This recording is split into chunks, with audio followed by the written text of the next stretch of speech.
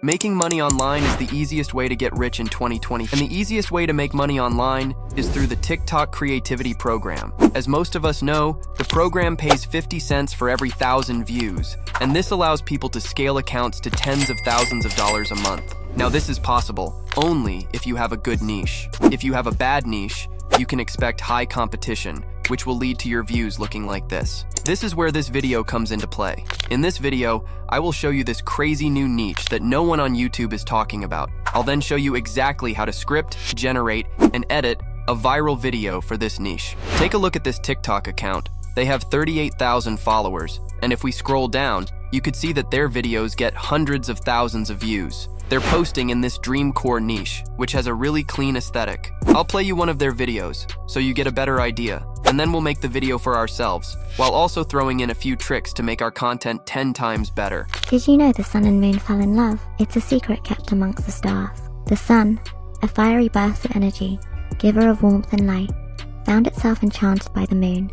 Alright, no more talking, let's get to work. Real quick, if you want to explode on TikTok, then join my Skool community link in the description. Also in the description, there's a link to a Google Doc which is full of everything that we're going to use in this video. The first thing we need to do is make sure that we have an eligible TikTok account. They were outside the creativity program regions. I have accounts for sale in the video description. The first thing we need is our video script. To do this, head to ChatGPT, and I'm going to start by asking the AI for a fantasy story within this niche. My prompt is quite specific, so I'll leave it in the Google Doc for you guys to copy over. It's basically asking for a story or list of stories in this niche. As you can see, ChatGPT has now generated me a list of video ideas for us to use for our video. The one that I really like is this one about the floating islands, and I think it will make for a really good video. So what I'm going to do is copy over the video idea, paste it back into ChatGPT, and ask the AI to write a story about this and make it 1,200 characters long. As you can see, the AI will now begin writing us a story.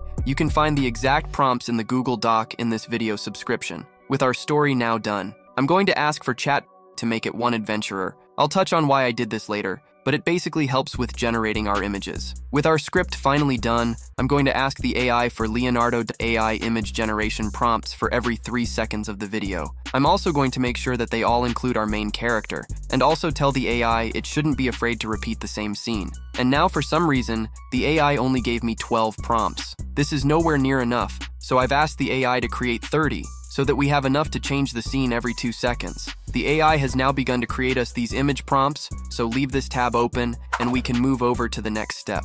Let's go ahead and put these image prompts to use. Head to Leonardo. using the link in the Google Doc. Once you're on Leonardo, you want to hit image creation in the middle of the screen to begin generating our images. Now on this next page, we need to change a few settings in order to generate our images correctly. The first thing I'm going to do is change the preset here. The preset you want to select is concept art, and it's this one that the example account used. With that done, we now need to change the image dimensions. Hit the button that says more, and on this next tab, you want to select the TikTok ratio. Finally, you want to make sure you're generating one image at a time. This might be a paid feature, but if you generate four at a time, you have more to pick from anyway.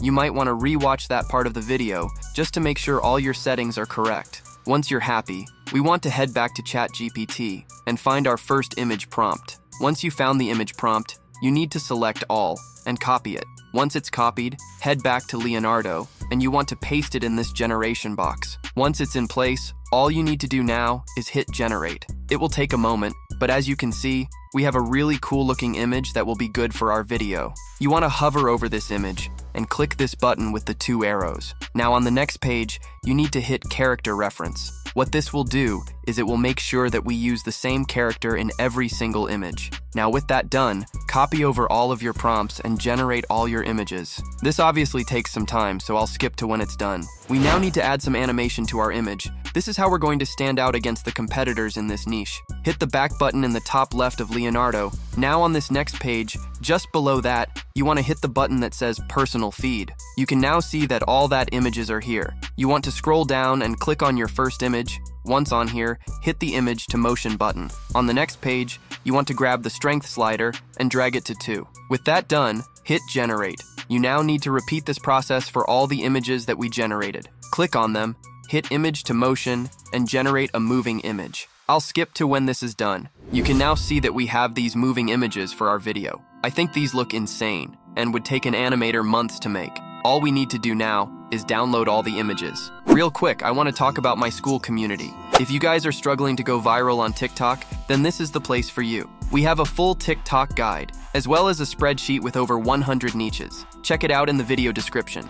We now need to get the voiceover for our video, head back to ChatGPT, and copy over the original script that we created. Now you want to head to ElevenLabs so we can turn this script into a voiceover. Once on ElevenLabs, you want to hit this drop down so we can select a voice. You want to look for a voice that is ideally of a woman, and that's also very calming to fit the theme of our video. You can try out some voices by hitting the play button next to them. Once you have a voice, all that's left to do now is paste in our script. As there's nothing to change about our script, you can just go ahead and hit generate speech. Once ElevenLabs has done its thing, download it to your device. We now have everything we need for our video, so let's edit it all together. Head to CapCut and start by importing everything we gathered throughout this video. The first thing that I will do is select the voiceover and drag it onto the timeline. With our voiceover in place, we don't need to make any changes to it, so we can move over to the next step. The next thing you want to do is drag in your images. This part's super simple. You just want to drag in the image that corresponds with what's being said in the voiceover.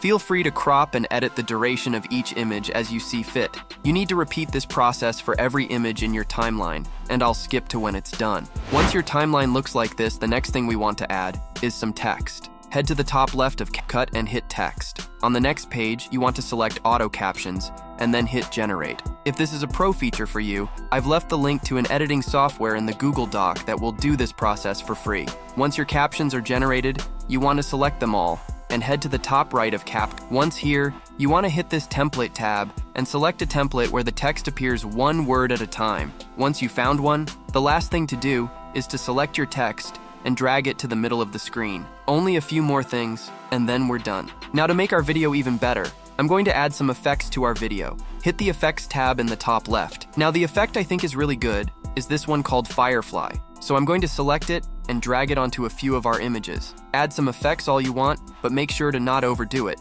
as the effect can easily become too much. With the effects done, I'm going to add an adjustment to our video. Hit adjustment in the top left, and add an adjustment to your track. Once it's in place, extend it so it lasts the full length of your video. Now head to the top right, and you want to firstly start by increasing the saturation. This will make our video more vibrant and better to look at. Now scroll down and change the vignette value to around 20 to 25. With our adjustment done, the last thing I'll add is a transition. Head to transitions in the top left. Now on this page, you want to search for a specific one called Black Fade. Once you found it, drag it between your first two images. With this now in place, head to the top right of CapCut and lower the duration to about 0.2 seconds. With that done, the final thing you want to do is hit is apply to all button. This will put the transition between every single photo that we have. Our video is done now, so hit export. Thanks for watching today's video. If you really want to take TikTok seriously, then join my Skool community. Bye.